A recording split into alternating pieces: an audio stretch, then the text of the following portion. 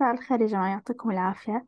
معكم دكتورة غادة من مجموعة الواتنية الدولية في دبلوم الصيدلة مادة pharmacology 1 محاضرتنا اليوم lecture number ستة رقم ستة محاضرتنا. رح نحكي فيها إن شاء الله عن ال anti-seizure drugs طيب رح نشوف الأول شو هي الحالة المرضية اللي عندنا. ال seizure شو هو ال seizure؟ اللي هو الصرع ونعرفه. وبعدين ندخل على الأدوية اللي عندنا. طيب بحكي لي ال seizure is a period of symptoms due to abnormally excessive neural activity in the brain. يعني هي عبارة عن seizure أو نوبات الصرع بنسميها. لأنه لقدام رح نشوف الحالة المتفاقمة أكثر من ال seizure بيكون اسمها اللي هو ال epilepsy الفكرة ال seizure هو عبارة عن فترات معينة أو خلينا نحكي symptoms معينة أعراض معينة بتيجي على شكل نوبات على شكل فترات عشان هيك بوصف إنها هي عبارة عن period of symptoms. سببها هذه الأعراض اللي رح هلأ نشوفها سببها زيادة كهربائية الدماغ. فعندي abnormally اللي هو بشكل غير طبيعي excessive فائض neural activity in the brain النشاطية العصبية أو الكهربائية في الدماغ بتكون أعلى من المستوى المطلوب بتضل بستلعة بنسميها abnormal غير طبيعية وهي عبارة عن هذه السيمتومز أو هذه الأعراض أو ارتفاع هذه الكهربائية في الدماغ بتعطينا أعراض معينة. هاي الأعراض بسموا لي إياها seizures اللي هي نوبات الصرع. Outward effects vary from uncontrolled shaking movement involving much of the body with loss of consciousness.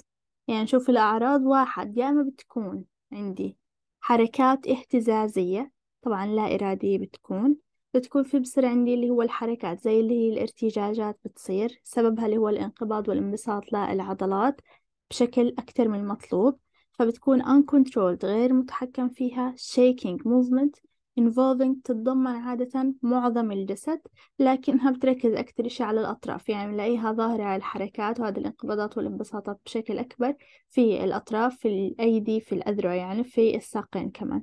فبنشوف هذا الإشي لكن بالغالب إنه بيكون الشيكينج لكل البودي مع هذه الاهتزازات بيكون إيش معها كمان؟ ال loss of consciousness اللي هو فقدان الوعي. هاي أول حالة من حالات ال seizure فقدان تام للوعي إضافة يعني الشخص مو واعي لكن جسمه بصير فيه هذه الانقباضات والانبساطات فبتعطيني هذه الحركات الاهتزازية.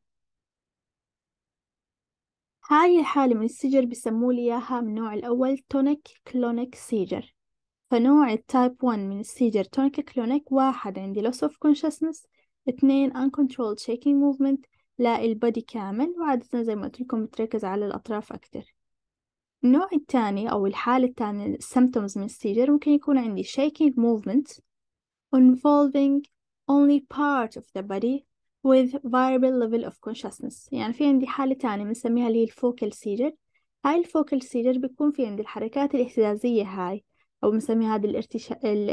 الارتعاش أو الرجة اللي بتصير. فقط مش لكل الجسم بتصير فقط عندي في أماكن معينة في الجسم في part معين في الجسم. هاي في هالحالة بتكون الحركة فقط على الأطراف. يعني ما بيكون الجسم كله بيهتز والاهتزازات اللي بنحكي عنها بيكون لما في حالة ال tonic clonic الجسم كله بيهتز. شدة الاهتزاز أكتر عند الأطراف تمام لكن لما الجسم كله بيهتز يعني هو زي كأنه عم بحكي عم بيرتفع مثل بس لتقريب الفكرة. كأنه الجسم عم بيرتفع عن الأرض وبيرجع بضرب فيها مرة تانية. نتيجة إنه كل الجسم بصير له هذه الاهتزازات. في حالة ال tonic clonic. في حالة ال focal seizure مو كل الجسم بصير عليه هذا ال shaking movement في part معين فقط. وكمان ال consciousness الوعي بيكون عم بفقده بمستويات متغيرة. يعني مو شرط إنه الشخص يكون فاقد للوعي بشكل تام. فقدان الوعي بيكون زي كأنه بس يعني تخلص نوبة الصرع بيكون متذكر جزء بسيط من اللي صار معه. أو مثلا اللي هو متذكر آخر فترة شو صار معه بس يبلش يرجع للوعي. أو ممكن يكون عادي. ما فقد الوعي أبدا لكنه اللي هو ما وعي كيف الفكرة إنه كيف مرت بسرعة لكن هو واعي شو صار معه. يعني متذكر إنه هو صار عنده هلأ نوبة صرع. فهاي الحالة بنسميها ال focal seizure.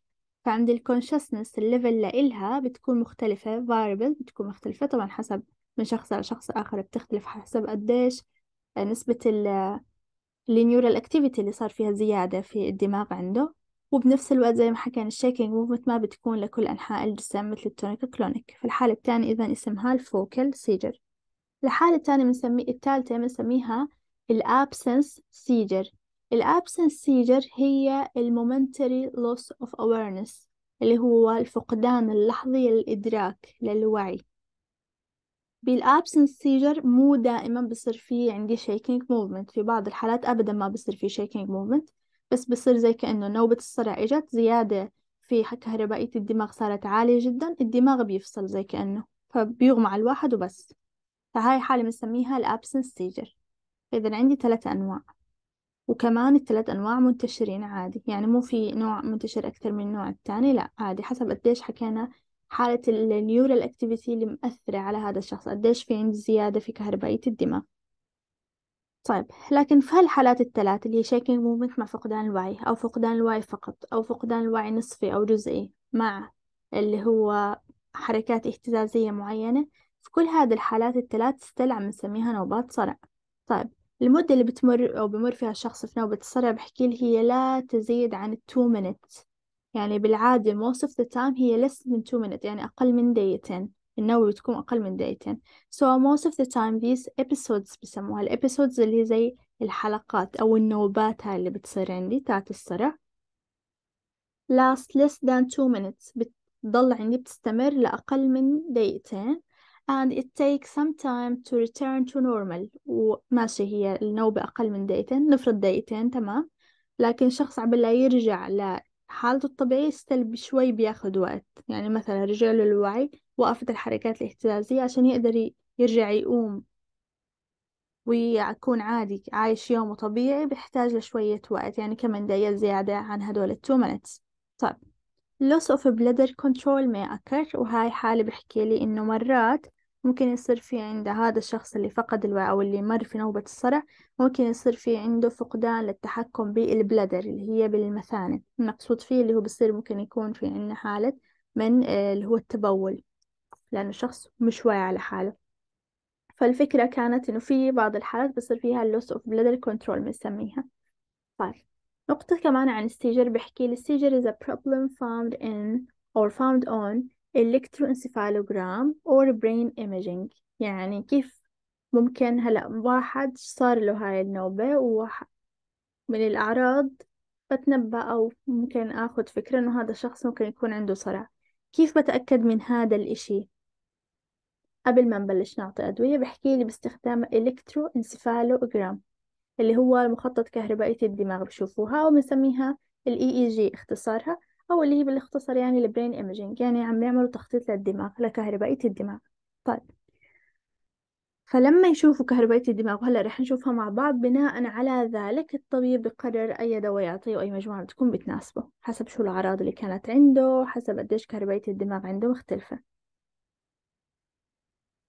في نوع من ال seizure اسمه ال partial seizure ال partial seizure اللي هو نوبة الصرع الجزئية partial يعني جزئي. بحكي لي هي عبارة عن simple seizure cause no interruption of or to consciousness. في عندي حالة ال partial seizure هي عبارة عن نوع من نوبات الصرع بسيط يعتبر. ما بصير في عندي فقدان للوعي. يعني الشخص بيكون واعي طول النوبة بغض النظر قديش كانت الفترة الزمنية اللي بيمتد تمتد لإلها هذه النوبة بيكون واعي تماما على اللي بصير معه ما بفقد الوعي. بصير في عنده shaking movement غير قادر على إنه يتحرك تمام لكن هو واعي شو بصير معه وعارف إنه أنا هلأ بمر في نوبة الصرع هاي وبس تنتهي already هو متذكر شو صار معه وبعدين زي ما حكينا الجسم بيحتاج شوية لوقت حتى يرجع للقيام بنشاطاته العادية. لكن in general معناته لو أنا بدي أحكي إنه ال partial seizure هو النوع الرابع من ال seizure رح نشوف إنه عندي tonic clonic seizure اللي هو في كل الحالات فقدان الوعي تام وفي عندي ال shaking movement عندي focal seizure بيشبه ال tonic clonic لكن بدرجات أقل. يعني ال shaking movement مش لكل الجسم إلا part معين. يعني أخف من ال tonic clonic. وكمان فقدان الوعي ما كان تام. هو فقدان الوعي بشكل أو بمستويات مختلفة. ال absence seizure هو فقدان للوعي ال momentary loss of awareness. ال partial seizure بصير في عندي الحركات اللي هي ال shaking movement لكن ما في عندي uh, loss of consciousness. معناته ال partial seizure كأني عم بحكي إنه هو عكس ال absence seizure ال absence seizure بفقد الوعي وما في shaking movement ال partial seizure العكس في عندي shaking movement لكن ما بتم فقدان الوعي. واضح هيك فكرة ال seizure عندي مشاكل في ال neuro activity of the brain بنشوف هذه الأشياء وهذه التغيرات في كهربائية الدماغ على ال electroencephalogram ال EEG وشفنا أنواع ال seizure وحكينا أنه نوبة الصرع هاي ما بتستمر.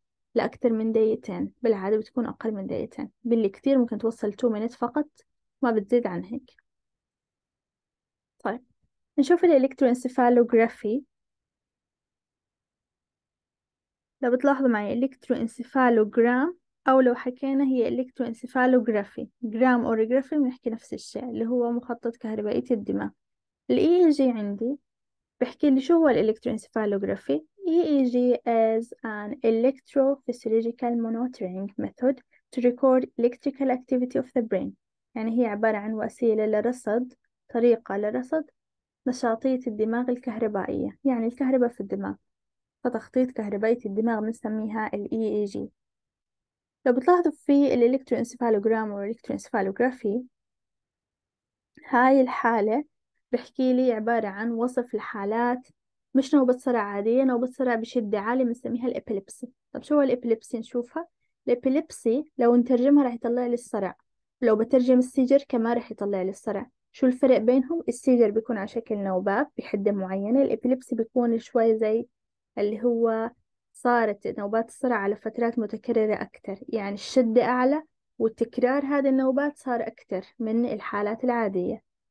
يعني حالات نوبات الصرع بتصير للإنسان أو متى بتبدأ تظهر تمام هو عنده زيادة في كهربائية الدماغ لكن بتطلع عنده كل فترة وفترة على أي أساس؟ أكيد مش بشكل عشوائي إذا مر فترة توتر ما نام منيح فبعض الحالات أو مثلا حالة الحزن الشديد التفكير اللي كتير هذا الشخص عنده مشكلة في كهربائية الدماغ مر بهاي الفترة بتصير عنده نوبات الصرع الإبيليبسي بحكي لما تتفاقم الحالة وتصير عندي نوبات متكررة أكتر.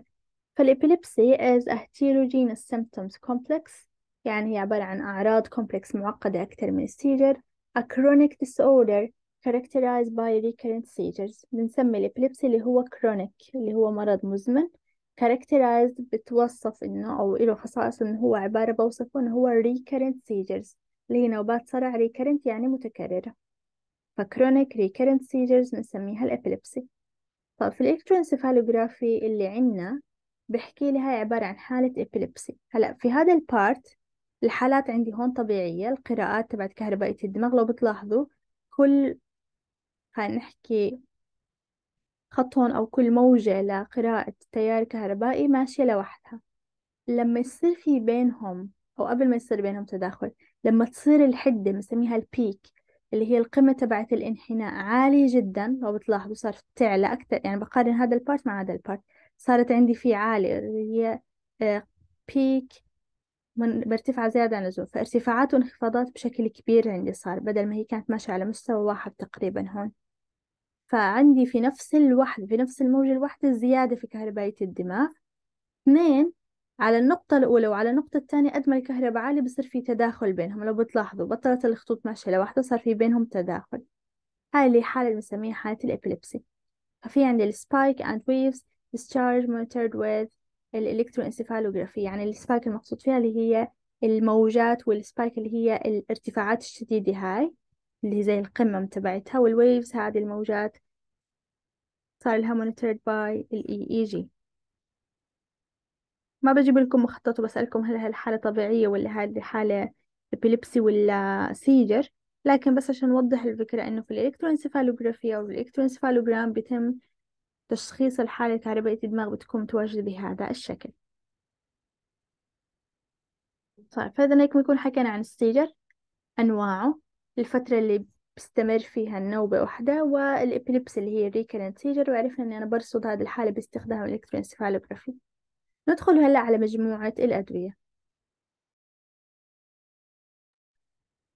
مجموعة الأدوية عندي أو بالأحرى رح تكون كل مادة فعالة لوحدها. يعني مو مثل أدوية الضغط. أدوية الضغط كنا نحكي مثلا alpha blocker ويكون في عندي أكثر من نوع تم أكثر مادة فعالة وتم تصنيع من أكثر من brand مثلا. نفس الإشي ال beta blocker نفس الإشي ال ACE ال ARBs إلى آخره. لكن في مجموعة ال seizure المادة الفعالة حتكون واحدة مثلا الفينيتوين راح يتم تصنيع أكثر من آه، اسم تجاري لإلها يعني أكثر من شركة مصنعة صنعتها. لكن المادة الفعالة عندي اللي هي مثلا الأولى نحكي على ال phenytoin ال phenytoin عندي المادة الفعالة الأولى لاستخدام أو آه، لعلاج مرض ال seizure بيحكي لي الفينيتوين كدواء بيشتغل بإنه slowing down impulses in the brain يعني بيقلل لي النبضات هاي اللي بشوفها في ال brain حكينا في عندي زي صارت شرارات كهربائية أعلى من مستواها الطبيعي في داخل ال brain في عندي زيادة في كهربائية الدماغ. الفينيتون بقلل لي هذه ال impulses اللي هي زي النبضات بسميها أو هذه الموجات اللي متزايدة جدا. ف slowing down impulses in the brain that cause seizure. يعني بقلل هذه ال impulses اللي هي أساسا بسببها عم تصير عندي نوبة الصرع هاي. بالنسبة للفينيتون بحكي لي هو عبارة عن ال oldest non-sedative anti-seizure drug. هو عبارة عن أقدم دواء تم تصنيعه واكتشافه ولا يسبب النعاس. Non-sedative يعني لا يسبب النعاس. لو بحكي عنه sedative بنعس أو أحكي non-sedative or non-sedative drug يعني ما بسبب النعاس من آثاره الجانبية بعض الأدوية بتسبب النعاس لكن الفينوتون لا يسبب هذا الشيء. ف it's the oldest non-sedative anti-seizure drug. الفينيتوين has major effect on several physiological systems آلية عمله بالتفصيل بيحكي لي إنه بيلعب على تغيير الصوديوم البوتاسيوم and calcium conductance يعني بيلعب على فكرة توصيل هذه ال ions. كلياتنا بنعرف عشان يصير عندي انقباض وانبساط في عضلات الجسم. بيكون في عندي الصوديوم بيدخل هو والكالسيوم والبوتاسيوم بيطلع. هلا في داخل الخلية نفسها إذا الصوديوم والكالسيوم دخلوا هلا أنا والبوتاسيوم طلع أنا هلا في مرحلة انقباض. لما بدي يصير عندي عملية الانبساط شو بصير؟ بتفتح قنوات البوتاسيوم البوتاسيوم بيدخل صوديوم وكالسيوم بيطلع فبصير عندي اللي هو الارتخاء أو اللي بنسميه الانبساط تاع العضلة. فالفكرة هون بحكي لي إنه الفينيتوين بيعمل على تغيير ال... لل conductance التوصيل تبع التيار الكهربائي بإنه بيغير زي كأني بحكي في التراكيز هذه ال ions اللي عندنا. فال alert sodium potassium and calcium conductance membrane potential بنسميها. conductance membrane potential بمعنى ال potential اللي هو التيار الكهربائي تبع ال membrane اللي هو تبع الغشاء اللي هو التيار وين مارر عندي. لما يمر بسبب هذا التوصيل فبتنقبض العضلة. فالفكرة كانت إنه بيغير لي هذا الإشي بإنه بيقلل من موجات هذه التيارات الكهربائية كمان بيأثر على concentration of amino acids وال neurotransmitters يعني بيغير من تراكيز الأحماض الأمينية اللي ممكن تساهم في إنها ترفع شدة أو حدة التيار الكهربائي أو النقل تبع هذا التيار الكهربائي. كمان بيقلل أو بيغير من تراكيز ال neurotransmitters ال neurotransmitters اللي هم النواقل العصبية. عندي epinephrine acetylcholine وال gamma-aminobutyric acid اللي بنسميها ال GABA فهدول الثلاثة اللي neurotransmitter بيساهموا في زيادة التيار الكهربائي وتوصيله. فالفينيتوين لما يعمل على تغيير هذه ال neurotransmitter concentration ويغير من تركيزها فبتقل عندي حدة نوبات الصرع أو بنغير في التيار الكهربائي وكهربائية الدماغ بنقللها يعني على أساس إنها ترجع لحالتها الطبيعية. فبهمني تعرفوا لي الفينيتوين كيف بيشتغل in general إنه slowing down لل impulses كيف بيعمل slowing down لهاي ال impulses بيأثر على الصوديوم بوتاسيوم كالسيوم بيأثر على ال GABA على ال neuro على آه ال neurotransmitters الأخرى ال norepinephrine وال acetylcholine وكمان بيأثر لي على تراكيز ال amino acids طيب therapeutical concentration أو therapeutic concentration يعني على التراكيز العلاجية المقصود فيها الجرعة العلاجية لهذا الدواء. The major action of phenytoin is يعني على الجرعة اللي صنعوا عليها. تمام شافوا أبحاث كتير وعرفوا الفينيتوين كيف بيشتغل وآلية عمله لكن على الجرعة المصنعة من هذا الدواء بدي أشوف التأثير الأكثر شو بيعمل؟ عرفنا إنه عنده تأثيرات كتير بأثر على الصوديوم بوتاسيوم كالسيوم شفناهم في هذه النقطة. لكن على الجرعة العلاجية الفينيتوين كيف بيشتغل بأثر أكثر إشي على إيش؟ بحكي لي the major action of phenytoin يعني التأثير العلاجي الأساسي للفينوتوين is to block sodium channels and inhibit the generation of rapidly repetitive action potential يعني بيسكر قنوات الصوديوم قنوات الأيونية الصوديوم channel و inhibit the generation of rapidly repetitive action potential وبمنع إعادة تكوين تيار كهربائي متكرر كل ما صار عندي تكوين لتيار كهربائي بنسميه action potential كل ما صار عندي زيادة في كهربائية الدماغ وتسبب لي هذه النوبات من الصرع. فأنا بقلل من هذه ال action potentials اللي بتتكون بعمل blocking للصوديوم channel فبالتالي بقلل من نوبات الصرع برجع كل شيء لمستواه الطبيعي باستخدام الفينيتوين صح. Phenytoin is effective against partial seizure and generalized tonic-clonic seizure. ولاحظوا إن الفينيتوين بيشتغل أكتر إشي على أي نوع من أنواع ال seizure حكينا عندي أربعة عندي tonic-clonic عندي ال focal عندي ال absence وعندي ال partial وجدوا إن الفينيتوين ولا لا قدام رح نشوف مع بعض أغلب أدوية الصرع بتأثر على ال tonic-clonic seizure وعلى ال partial seizure.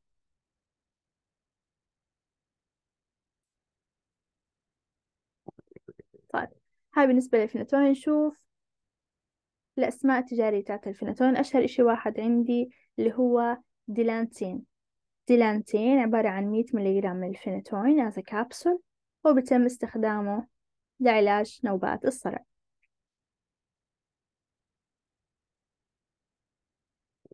ننتقل هلأ للدواء الثاني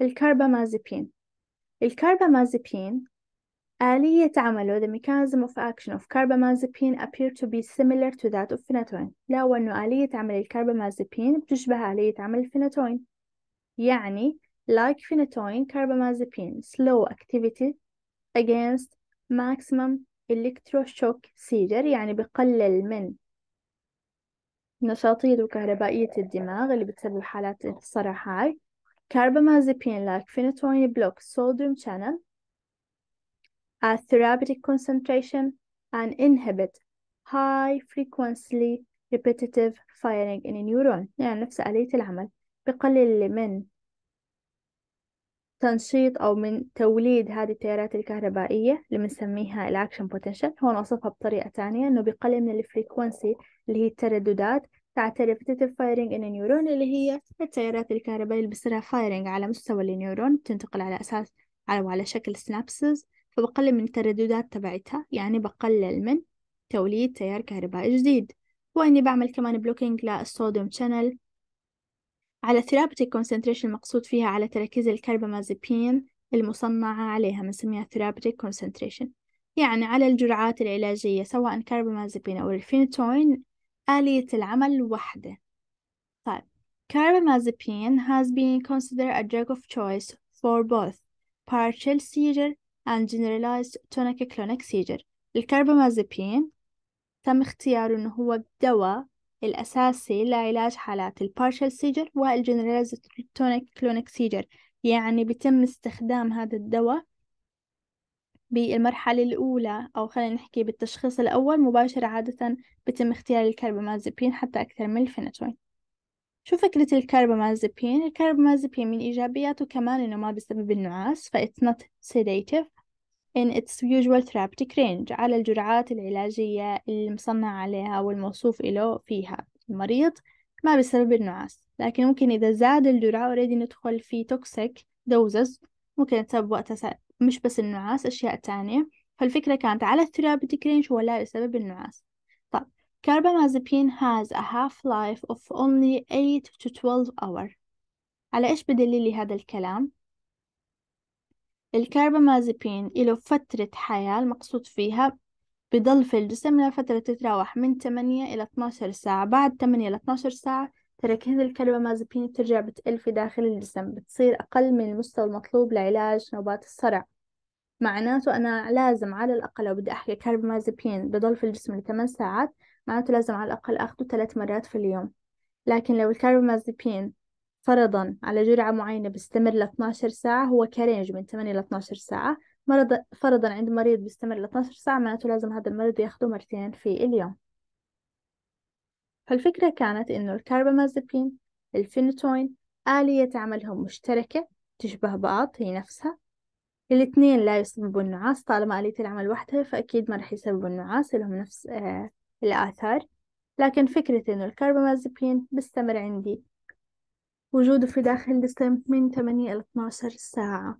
بيهمني تعرفوا لي إنه ال drug of choice لل partial seizure ولل tonic-clonic seizure carbamazepine وليس الفينتوين هاي نقطة مهمة نسأل عنها. كاربامازيبين طبعا هاي المجموعة على أساس إنه تشوفوا شو التركيب الأساسي للدواء شوي شفناه كمان في الفينتون كان بهذا الشكل. ما بسألكم عن شكل المخططات لكن عشان يصير عندكم خلفية يعني بالنسبة للفينتون بالنسبة للكربامازيبين بهذا الشكل عندي حلقات ثلاث حلقات مع بعض في عندي نيتروجين وأكسجين. Tegretol هذا مشهور في استخدامه مشهور في الأسواق. والأنليبتيك كمان مستخدم as carbamazepine as drug لعلاج ال seizure. المشهور أكثر هو Tegretol ننتقل للدواء الثالث. Oxcarbazepine. ال oxcarbazepine is closely related to carbamazepine. بحكي لي كتير بيشبه أو قريب من ال carbamazepine and is useful in the same seizure type. كمان بستفيد منه من هذا الدواء ال oxcarbazepine في نفس أنواع ال seizure اللي كان يعالجها عندي الكربامازيبين اللي هي كانت نفس الأنواع اللي بيعالجها الفينتون اللي هي مين؟ ال partial seizure. وال generalized tonic-clonic seizure but it may or it may have an important toxicity profile وجدوا أن ال oxcarbazepine ممكن يكون له toxicity profile خاصة ليش؟ يعني نسبة خطر الإصابة السمية منه أعلى من الأدوية الثانية ليش؟ لأنه له أول أول شيء آلية عمله حكينا حتى لو even عم بيعالج نفس الآثار أو نفس الحالات المرضية آلية ممكن تختلف بشكل بسيط. إضافة إلى ذلك إنه عنده half life بس من ساعة لساعتين بمعنى إنه ال oxcarbazepine لازم يتم أخده زي أكثر من مرة في اليوم.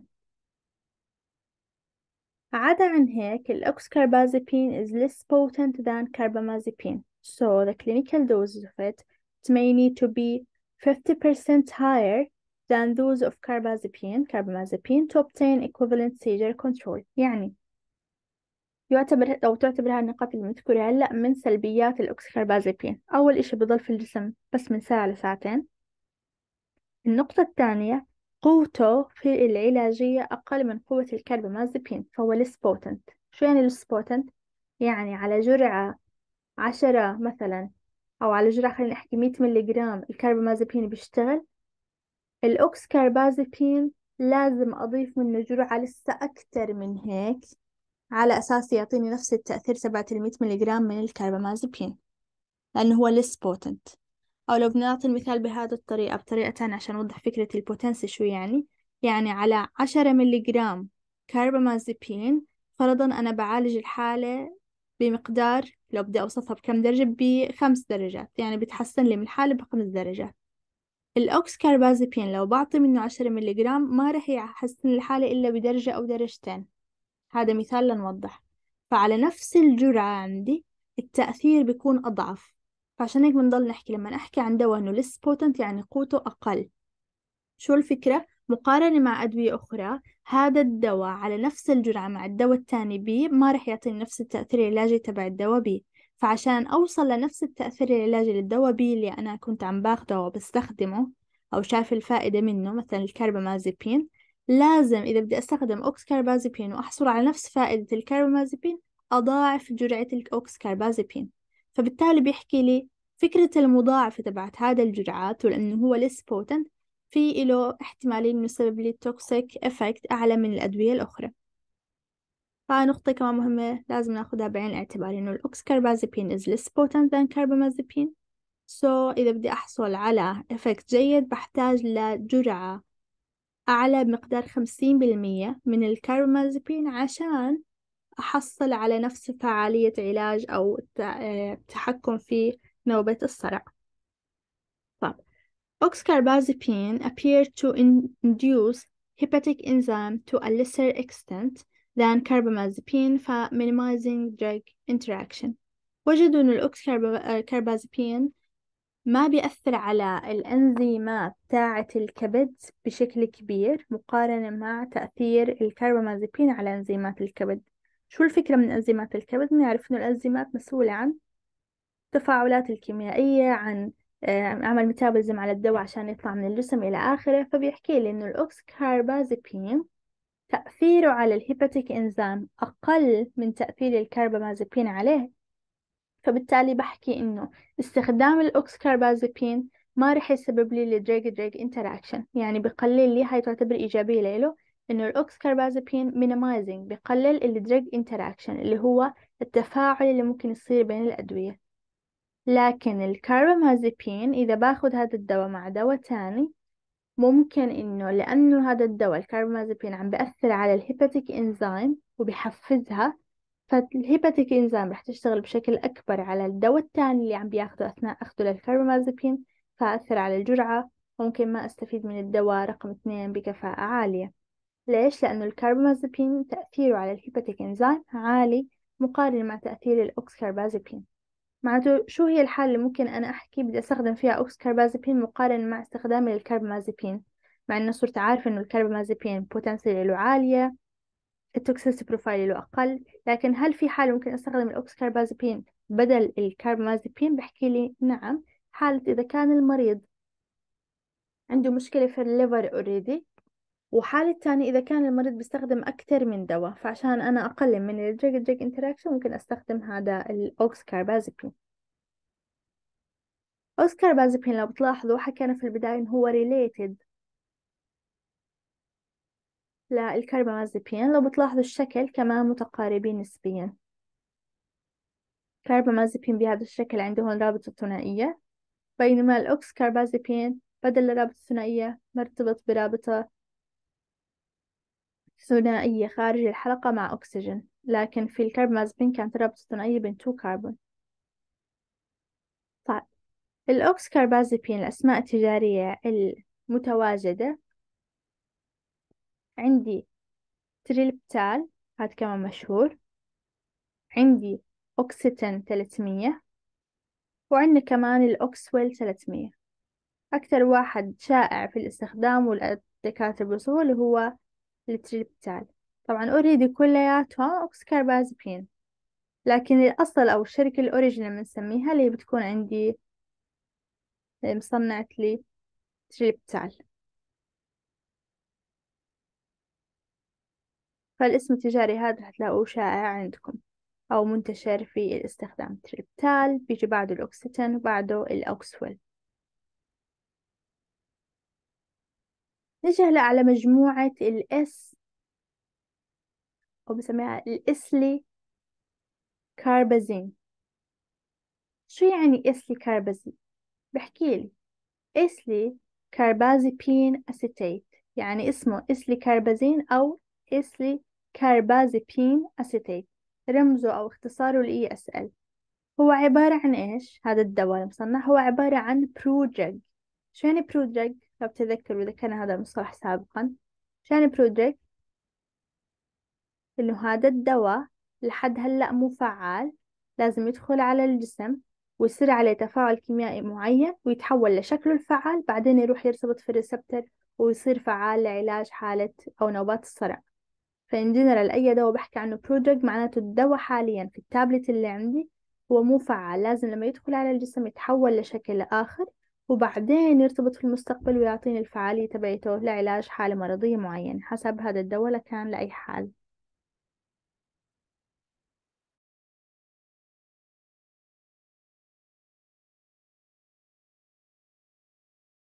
طيب فبالنسبة للإس لكاربازبين ويسميه إسليكاربازيبين أسيتيت أو الإسليكاربازين هو عبارة عن drug that has been approved as adjunctive therapy in adults with partial onset seizure with or without secondary generalization.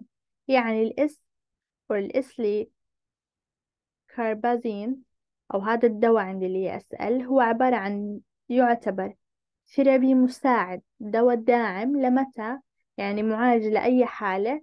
لحالة ال partial onset of seizure يعني ال seizure عندي هو partial ولسه ما تطورت الحالة وتفاقمت لحتى إنه يصير أو أقدر أسميه إنه صار generalized اللي هو tonic clonic seizure. ففي بعض الحالات بتبلش as a partial seizure وإذا تفاقمت الحالة ممكن إنه هي تتحول ل generalization بنسميها اللي هي تعميم بنسميها generalized tonic clonic seizure. يعني بتغطي shaking movement أكبر مساحة في الجسم وبيكون فيها كمان عندي أزاتونيك كلينكسير فقدان للوعي. طيب فالفكرة كانت إنه ال partial seizure إذا ما تعالج ممكن يتحول ل generalized tonic seizure فبحكي لي الإسلي كاربازين بيساهم في إنه يعالج حالة ال partial onset seizure سواء هذا الشخص كان عنده تفاقم في الحالة وتحولت ل secondary generalization أو لساته في مرحلة ال partial onset seizure ففي هذه الحالة بإمكاننا نستخدم ال eslicarbazepine acetate أو باسمه المختصر أكثر ال eslicarbazepine طيب the mechanism of action of carbamazepine oxcarbazepine وال eslicarbazepine appear to be the same. يعني الكربامازيبين الأوكسكاربازيبين الإسليكاربازين والفينوتوين كلياتهم آلية عملهم تعتبر متشابهة وكلياتهم بيشتغلوا بيركزوا على فكرة ال blocking لل voltage gated sodium channel اللي هو تسكير لقنوات الصوديوم الأيونية. لما أمنع الصوديوم يدخل عندي على داخل الخلية فبالتالي بصير في عندي قلة في التيار الكهربائي اللي بينتقل وبالتالي بحكي إني بعالج حالة نوبات الصرع اللي عندنا عندنا Zebinix وعندنا Aptiom كأسماء تجارية لل eslicarbazepine. فإذا ال eslicarbazepine أو اللي يسأل هو prodrug مهم نعرف هذا الإشي. بيعالج حالة ال partial onset of seizure with or without secondary generalization. آلية العمل مشتركة. لكن قوة الأدوية بتختلف. يعني تمام carbamazepine oxcarbazepine ال phenytoin ال eslicarbazepine كلياتهم عليهم عليهم ملاحظة إن هي بتسكر قنوات الصوديوم. لكن أكيد في عندي receptors مختلفة متوزعة في الجسم. بشكل معين بنسبة معينة. ال potency بين الأدوية بتختلف بتفرق فبالتالي عشان هيك عندي كل هاي المجموعة الدوائية وإلا لو كلياتهم بيشتغلوا نفس الطريقة بإمكاني أصنع خلص دواء واحد بمادة فعالة واحدة. لكن زي ما حكينا بيختلف فيه اللي هو آلية استجابة كل دواء ال receptors المص... تبعه أو التابعين لإله. طيب.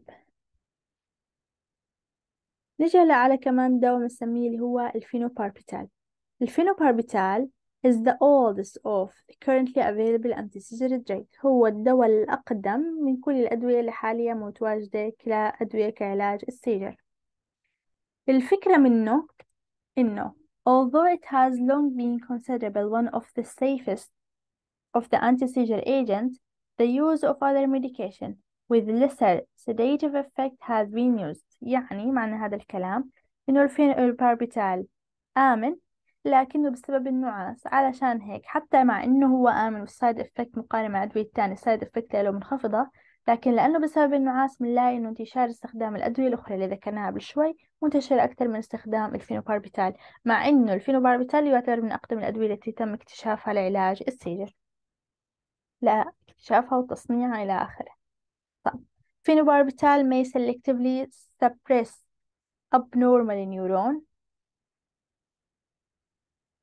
يعني بتعمل على تثبيط أي تيارات كهربائية غير طبيعية like phenytoin phenobarbital suppress high frequency repetitive firing in a neuron in culture through an action on sodium conductance نفس الإشي الفينوباربيتال كمان بقلل من سرعة انتقال وحدة انتقال التيار الكهربائي وحدة التيارات الكهربائية في داخل الدماغ بإنه بيلعب على ال sodium conductance يعني بيلعب على تركيز الصوديوم المتواجد وبالتالي بقلل من ال conductance اللي هو الاتصال أو التواصل اللي هو انتقال التيارات الكهربائية والشرارات الكهربائية من part ل part تاني.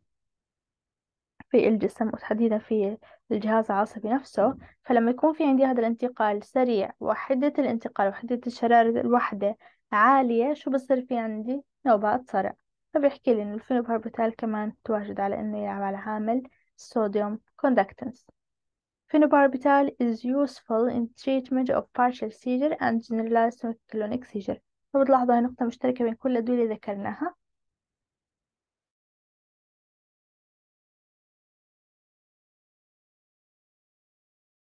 إنه آه، بتلعب هذه الأدوية كلياتها على إنها تعالج ال partial seizure وال generalized clonic seizure طيب شو الفكرة معناته؟ هل هذه الأدوية ما بتعالج ليه ال absence or ال focal seizure بحكي لي مبلا بتعالجهم لكنها زي كأني عم بحكي ال tonic clonic وال partial هم المنتشرين أكتر في الحالات المرضية في كنوبات صرع وهم كمان صاحبين الحدة الأعلى. tonic clonic أعلى إشي في الحدة. فبالتالي إذا أنا الدواء تبعي بعالج ال tonic clonic أكيد إذا كان عندي نوع تاني من أنواع الصرع الأخف حدة أكيد هذا الدواء كمان رح يعالج لي هذا النوع من ال seizure. فالفكرة كانت طالما الدواء عم بعالج لي tonic clonic seizure بنسميها ال generalized tonic clonic seizure معناته أي نوع تاني كمان هذا الدواء قادر على إنه يعالجه أو أي نوع تاني من نوبات الصرع هاي. طب. فينوباربيتال عنا سامبيوتال وعنا كمان الأبيليك سكسي كأسماء تجارية لأدوية الفينوباربيتال طيب فحد هون يا جماعة سلايد السيجر هو الأنتي سيجر دريك بيكون خلص إن شاء الله. في حدا عنده أي سؤال يا جماعة على محاضرتنا؟ حكينا عن الفينوباربيتال حكينا عن الإسلي كاربازين الأوكس كاربازابين أو الأوكس كاربازابين وحكينا عن الكاربامازابين وقبلها حكينا عن الفينيتوين فمجموعة الأدوية بتكون هيك خلصت هاي الأهم الأدوية المتواجدة والمشهورة. فنكون عرفنا شو حالة المرض عندي اللي هو ال seizure شو أنواعه شو آلية العمل. تبعت الأدوية اللي بتساهم في علاج نوبات الصرع. فلحد هون يا جماعة في حد عنده سؤال على slide نا؟ طيب سمعنا وقت في المحاضرة فرح أعطيكم break عشر دقايق وبعدين نروح على المحاضرة اللي بعدها اللي بتحكي عن أدوية ال depression أدوية الاكتئاب ونشوفها وناخدها معها وفكرة ونقارن شو الفرق بين ال seizure وبين ال depression فيا جماعة إن شاء الله عشر دقايق بريك وبعدين بنرجع نكمل محاضرتنا. يعطيكم العافية.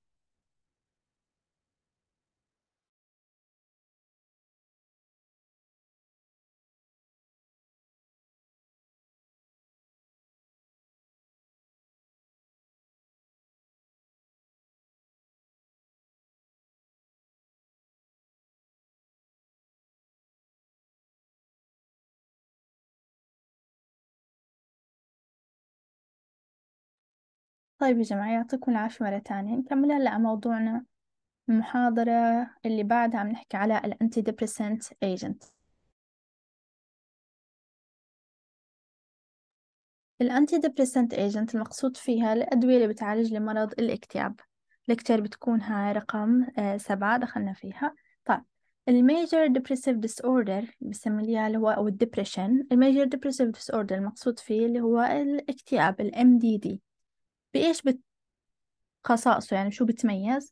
Is characterized by أي symptoms يعني؟ By بحكي لي depressed mood most of the time for at least two weeks. يعني مزاج مكتئب على الأقل لأسبوعين متتاليين. يعني مو شخص فجأة مرت عليه فترة اللي هو متضايق نحكي عنده اكتئاب. الفكرة إنه عندي أسبوعين على الأقل في عنده هذا ال depressed mood وقتها ممكن نشك إنه عنده depression ونروح نعمل له تشخيص عند طبيب معين. طيب فالدبريس مود most, most of the time for at least two week.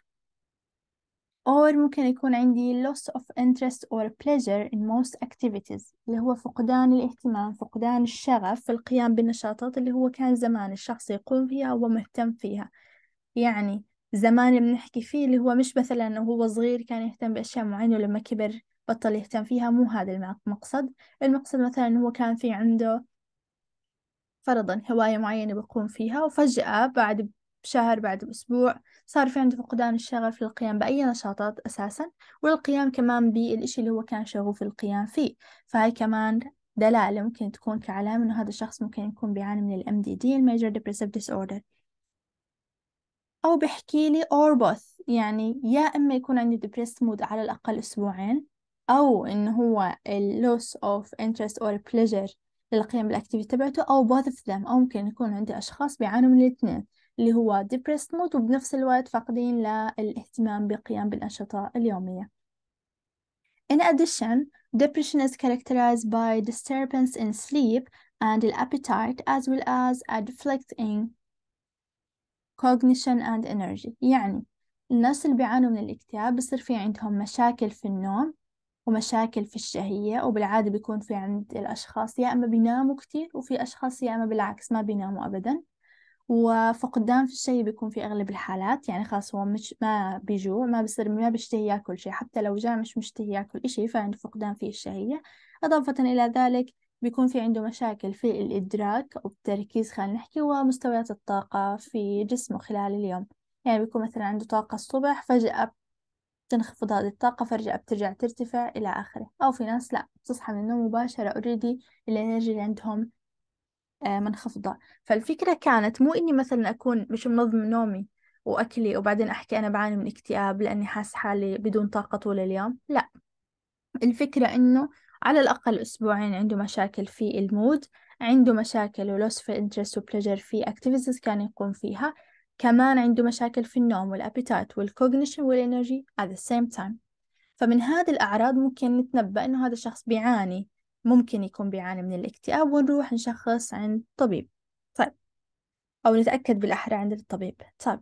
The monoamine hypothesis of depression suggests that يعني في عندنا نظرية بسموها نظرية المونوأمين اللي هو الأمين الأحادي هاي نظرية بتحكي عن إيش؟ اللي هي شو فكرة يعني كيف عرفنا إنه ال seizure فكرته إنه عندي زيادة كهرباء الدماغ؟ طيب بالنسبة لل depression شو فكرة شو نظرية شو هذا المرض؟ يعني بحكي لي suggest هاي النظرية بتقترح إنه أو بتفترض إنه هذا ال depression is related ل deficiency في ال neurotransmitter أو في ال function تبعت هذا ال neurotransmitter يعني بتفترض هاي النظرية إنه سبب ال depression هو إنه نسبة النواقل العصبية في ال brain أقل من مستواها الطبيعي أو هي موجودة لكنها ما بتشتغل بكفاءتها العالية في عندها مشاكل في الارتباط مع المستقبل تبعها. فالفكرة إذا deficiency في ال amount أو function of مين أي neurotransmitter بتهمني. واحد السيروتونين. رمز السيروتونين بالمناسبة 5HT وطلع جديد آخر فترة اللي هي بعض المكملات الغذائية اللي هي عبارة عن بيكون على العلبة مكتوب على الكبسول 5HT المقصود فيه إنه بيكون فيها نسبة من السيروتونين عشان تدعم نشاط الشخص أو طاقته خلال اليوم. المهم السيروتونين النورإبينفرين رمزه NE والدوبامين DA لما يصير في عندي نقص في كمية السيروتونين أو النورإبينفرين أو الدوبامين بيكون عندي من أحد أسباب إصابة بال depression فهاي نقطة مهمة نكون عارفينها إنه لما شافوا هذه الأعراض تظهر عند شخص وجدوا عندهم أو عند أشخاص معينين وجدوا إنه في عندهم خلل بهذه ال neurotransmitters ندخل هلا على مجموعة الأدوية. المجموعة الأولى بسموا لي إياها Selective Serotonin Reuptake Inhibitor. طب هلأ في جسم الإنسان لو بتذكر لما حكينا في ال anatomy في تحديدا الجهاز العصبي عرفنا إنه في عندي نواقل عصبية بتنتقل من خلية لخلية اللي بعدها. طب النواقل العصبية وين بتكون متخزنة؟ بتكون متخزنة في حويصلات خاصة فيها. لما يصير في عندي أمر بإفراز هذه ال neurotransmitters هذه النواقل العصبية بتنفرز. وبتطلع من ال sac هاي تبعتها من الحويصلة أو من الكيس تبعها وبتنفرز عبر زي مسافة أو فراغ وبعدين بترتبط في المستقبل تبعها.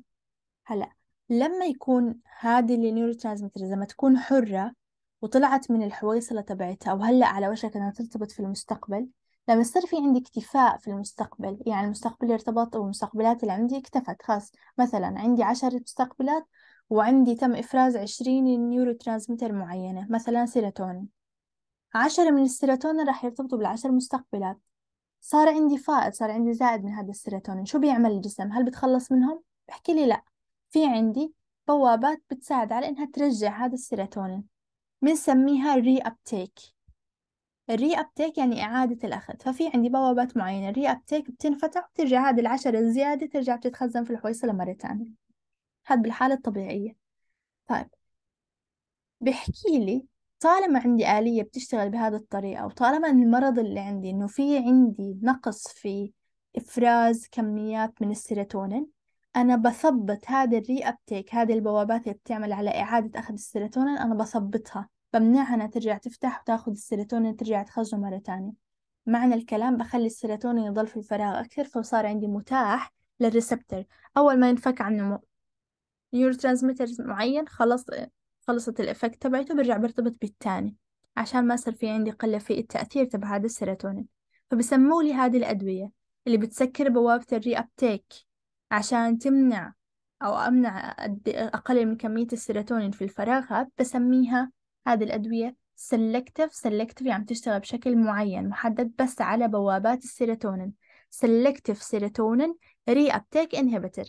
يعني الأدوية المثبطة لأخذ السيروتونين الرجعي عبر بوابات ال reuptake طيب The selective serotonin reuptake inhibitor رمز هذه الأدوية SSRIs represent a chemically diverse class of agents that have as their primary action the inhibition of the serotonin transporter يعني آلية العمل لل SSRIs إنها بتشتغل على إنها تثبت نواقل السيروتونين. وحكينا هاي النواقل بتكون اللي هي عبارة عن بوابات بتاخده بتنقله رجعي بشكل عكسي إلى التخزين مرة تانية.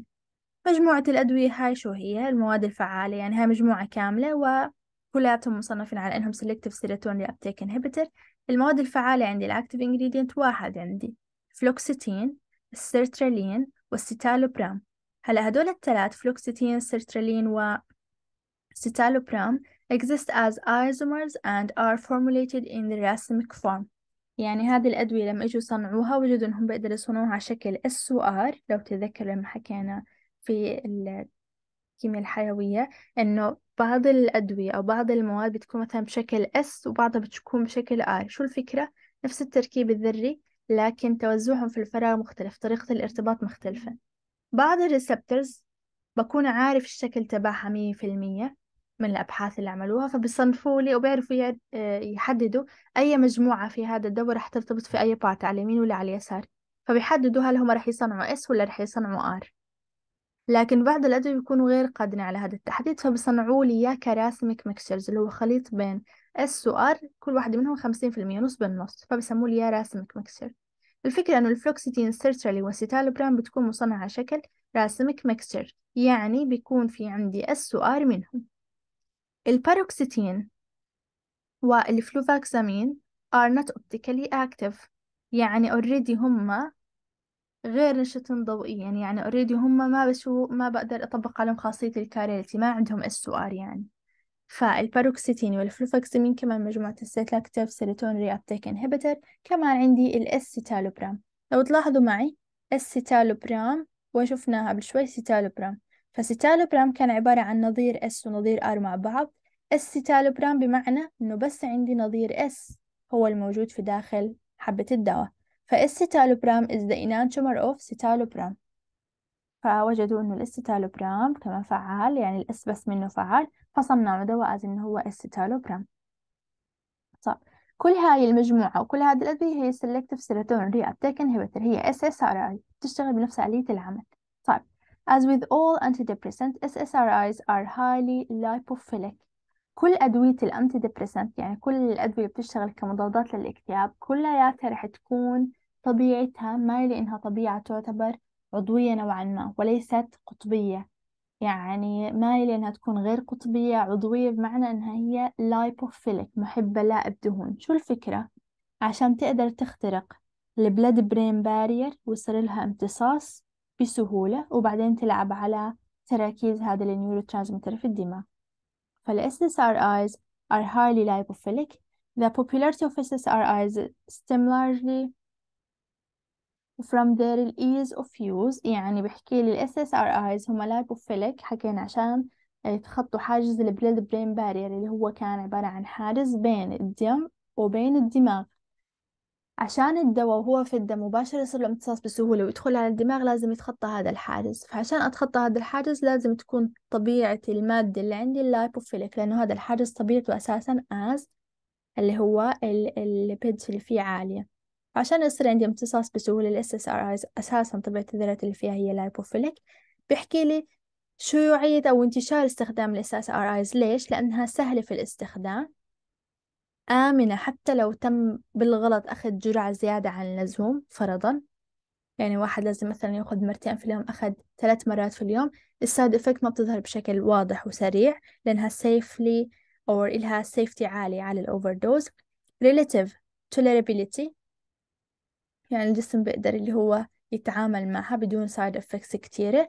And broad spectrum of use وإلها مجال استخدام واسع نسميه broad spectrum of use. يعني على حالات ال depression ب تفاوت المستويات تبعتها ممكن إنه تكون السلكتيف ري أبتيك إنهبيتور فعالة في الاستخدام.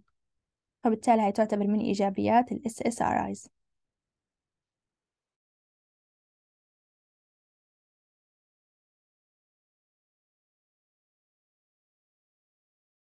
الأسماء التجارية وأنتوا كمان مطالبين فيها هون حتى لو مش كاتبت لكم إياها على شكل لستة في ال slide بأسماء تجارية هاي معروف مطلوب إنكم تعرفوها مثل عنا اللي هو البروزاك 20 ستاباد فافرين سيروكسيت سيبراليكس هذا كتير مشهور وكمان عنا الأترولين. هلأ بروزاك وسيبراليكس وفافرين أكتر إشي واحد سيبراليكس مشهور بعدين بيجي بروزاك وبعدين عنا كمان اللي هو الفافرين فافرين الفكرة إنه كلياتهم عبارة عن مين؟ عبارة عن SSRIs لكن لو بدي أشوف المواد الفعالة السيبراليكس المادة الفعالة فيه هو الستالوبرام البروزاك المادة الفعالة فيه اللي هو الفلوكسيتين. فافرين نفس الإشي اللي هو عبارة عن الفلوكسيتين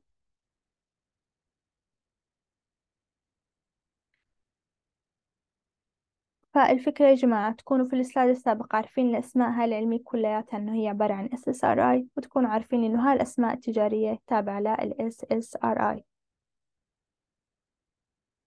نجي هلا لمجموعة تانية من الأدوية بتشتغل على بوابات أخرى في الجسم بسموا لي إياها serotonin norepinephrine reuptake inhibitor هلا هاي البوابات بتعمل على إعادة امتصاص بالحالة الطبيعية السيروتونين والنور إبنفرين مع بعض يعني هي مو بس خاصة للسيروتونين قبل شوي اللي شفناها آي كانت بس للسيروتونين.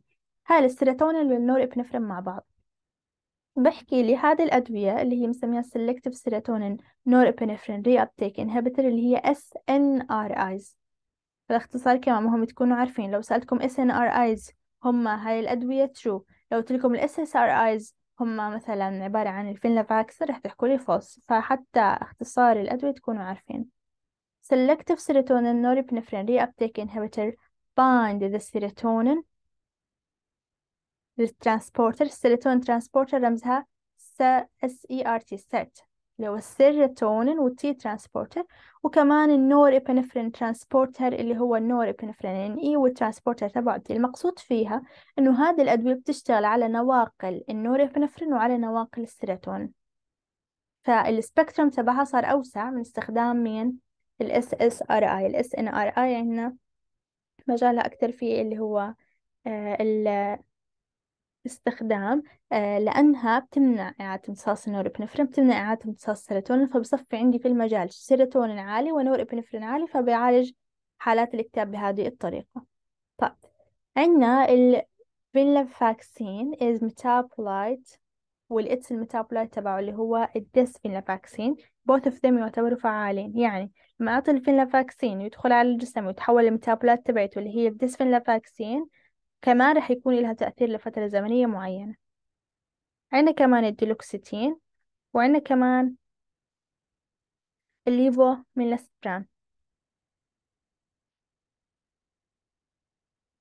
ليفو ميلناسيبران ديلوكسيتين وفينلافاكسين هم عبارة عن ال SNRI ليفو ميلناسيبران هو عبارة عن the active enantiomer of the racemic SNRI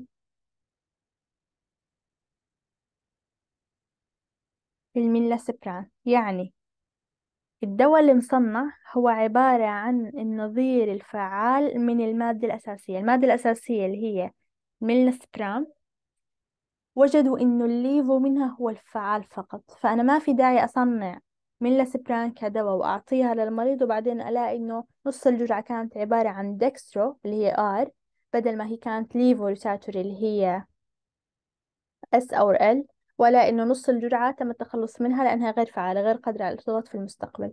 لما ألاقي إنه شومر معين فقط هو الفعال بصنع الدواء بهذه الطريقة. فالليفوميلناسيبران هو عبارة عن ال active isomer من الميلناسيبران وهو عبارة عن مجموعة SNRI طيب in addition to their use in major depression بحكي لها عن مجموعة ال SNRIs كاملة. قدرتها والإضافة لأني عم بستخدمها في علاج حالات ال major depression اللي هو حالات الاكتئاب العامة SNRIs have application in the treatment of pain disorder including neuropathy. وجدوا أن ال SNRI إلها القدرة على إنها تعالج حالات الألم نتيجة مسمى اللي هو ألم الأعصاب. بنسميها اللي هو ال neuropathy اللي هي ال pain disorder مشاكل في الأعصاب بسبب بيصير في عندي ألم في الأعصاب.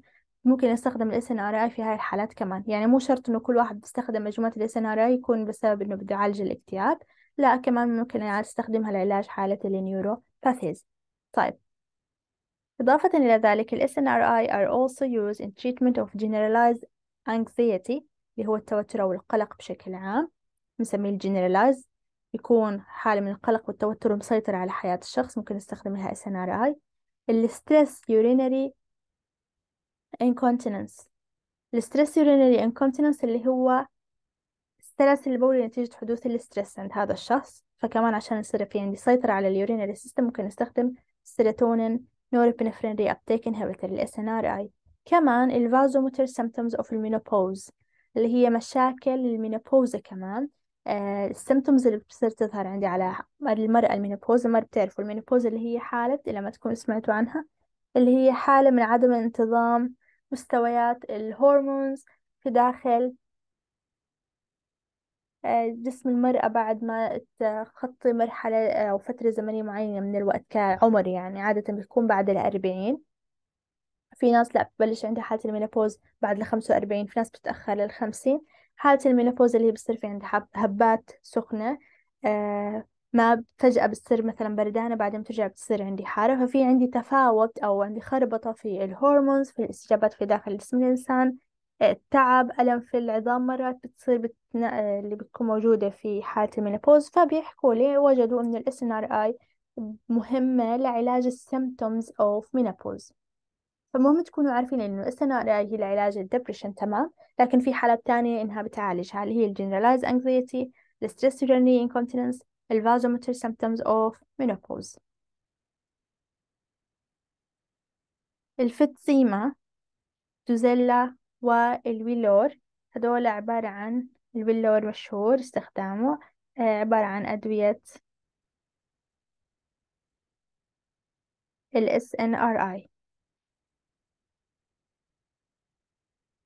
نجي هلا على المجموعة الثالثة صرنا حاكيين على ال SSRI ال SNRI نجي هلا على مجموعة سايكليك أنتي ديبريسنت شو يعني cyclic؟ يعني بتحتوي على ثلاث حلقات فبسموا ليها cyclic وهذا نتيجة للتركيبة الكيميائية تبعتها. antidepressant برمزها اي عندنا الإمبرامين وعندنا ال metabolite تبعته اللي هي desipramine imipramine وال desipramine طيب هلأ الإمبرامين and its metabolite desipramine differ by only a methyl group in the uh, propylamine side chain. يعني اختلاف بين ال imipramine وال metabolite تبعته. ال desipramine اللي هو وجود مجموعة methyl CH3 على ال side chain على السلسلة تبعت اللي هي ال propylamine الفكرة however this minor difference results in a substantial change in their pharmacological profile. يعني مع إنه الاختلاف بين ال imipramine وال desipramine هو اختلاف بسيط بس عندي مجموعة methyl تم إضافتها أو تم حذفها من واحد من الثاني قارن مع الثاني. مع ذلك هذا الاختلاف البسيط بيزيد لي عندي أو بيغير لي من ال pharmacological profile هلا بنشوف كيف اللي هو تأثير العلاج لواحد منهم. بيكون أقوى من الثاني مع إنه الفرق بينهم هو بس موجود أو عدم وجود لمجموعة methyl اللي هي CH3 طيب. بحكي لي ال imipramine is relatively strong serotonin as well as norepinephrine reuptake inhibitor. الإمبرامين بيشتغل كقوة على بوابات السيروتونين وعلى بوابات ال norepinephrine relatively strong serotonin وكمان norepinephrine reuptake inhibitor. ال desipramine بحكي لي هو more potent and somewhat شو يعني more potent حكينا يعني على جرعة قليلة منه بيعطيني تأثير قوي جدا مقارنة مع جرعة الدواء الثاني يعني على وعلى نفس الجرعات مين الأقوى عندي؟ desipramine هو more potent and somewhat more selective. norepinephrine reuptake inhibitor than as ال imipramine فال desipramine هو more potent و more selective على ال norepinephrine مقارن مع مين؟ مع الإمبرامين. يعني الإمبرامين كان بيشتغل على ال norepinephrine وعلى السيروتونين. ال desipramine بيشتغل أكثر وبشكل selective يعني بقوة أعلى على بوابات ال norepinephrine. فمين عندي الأقوى إذن ال metabolite اللي هي ال desipramine مقارنة مع الدواء الأساسي اللي هو الإمبرامين.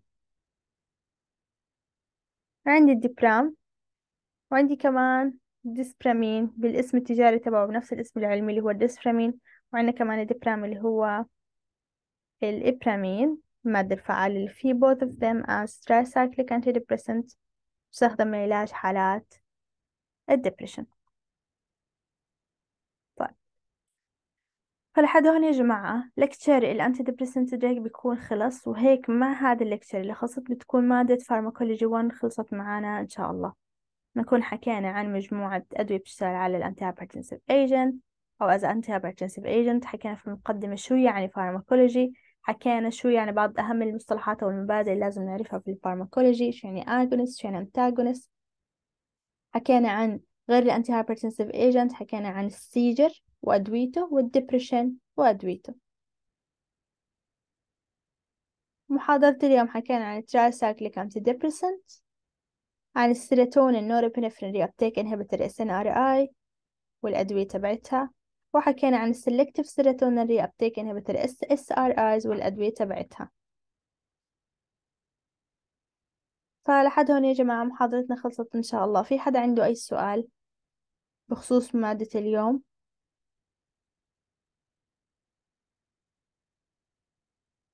طيب فيا جماعة برجع أخبركم بموعد الامتحان إن شاء الله وأتمنى لكم التوفيق يعطيكم العافية.